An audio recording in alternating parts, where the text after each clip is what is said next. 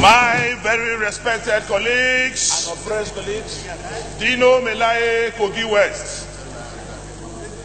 Baba, you speak the truth, you die. you say the lie, You lie, you die.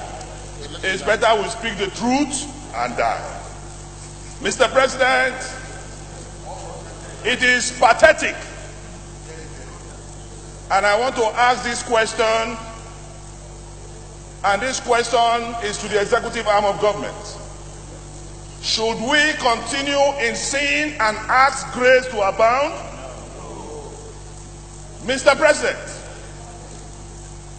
time after time,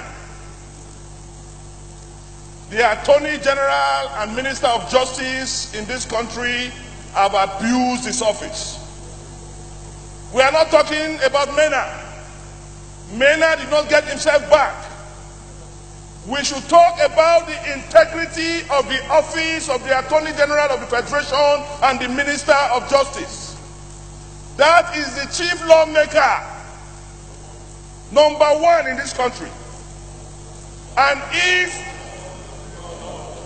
law officer, and if the law officer have his hands stained, then the entire nation we are in a state of higgledy piggledy.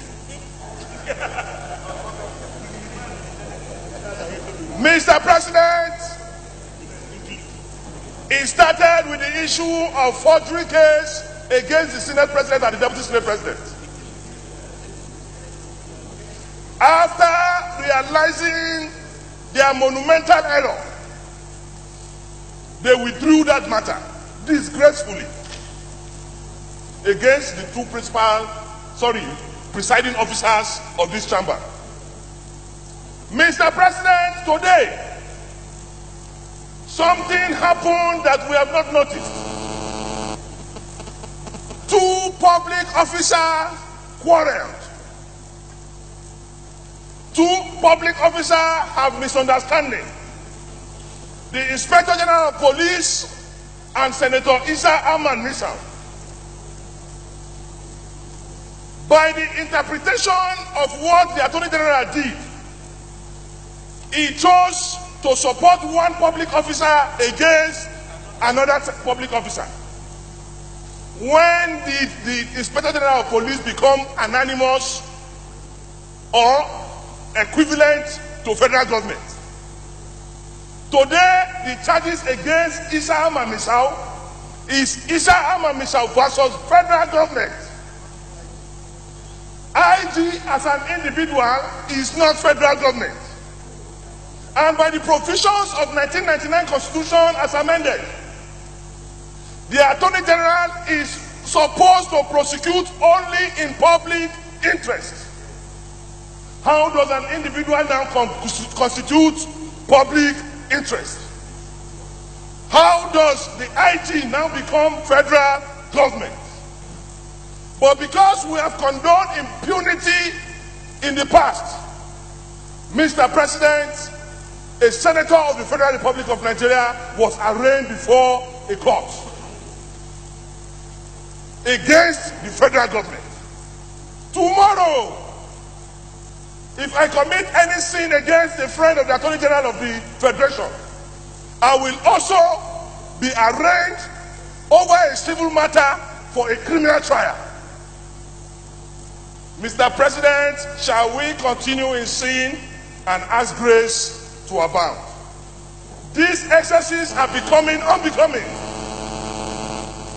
And we should not also encourage setting up investigative uh, committees, panels by Mr. President. Mr. President is a very good man. And the man means well. But he is surrounded by cankerworms and caterpillars who have decided to destroy this government. We have the SGF committee set up. Reports have been submitted. There are other committees that have been set up. We are expecting that maybe implementation will be after rapture. Mr. President, enough is enough. Nigeria is not a banana republic. We will continue to sit, deliberate like this, pass resolution, and go until we stand up on behalf of the people of this country. We are representatives of the people. We should have the temerity, the audacity to take strong decisions on behalf of the Nigerian public. The Attorney General of the Federation and Minister of Justice, Nigerians will now understand why this chamber voted that the office of the Attorney General and that of the Minister of Justice be separated. You cannot be a card carrying member of a party, you cannot be an appointee of the government and then prosecute in public interest. And we have seen the misuse and abuse of that office.